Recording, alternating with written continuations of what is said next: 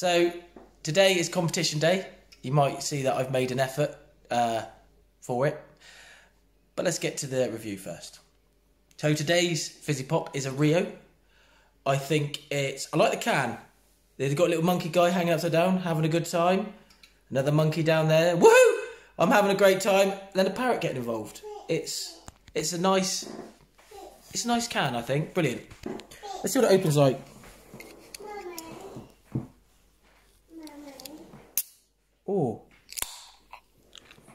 Slightly disappointing, but nevertheless, it's all in the taste, I think, with this one.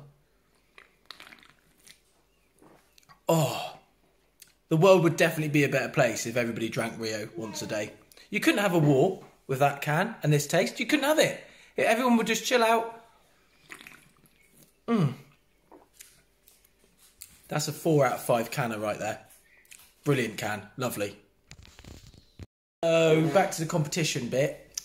Uh, you have to share the vi video. then you have to um, subscribe to the channel, subscribe to the channel even, and then comment in the in the comment bit and um, say what can you would like from the cans that have already been reviewed. And then I'll do a draw on Wednesday to see who will win said can.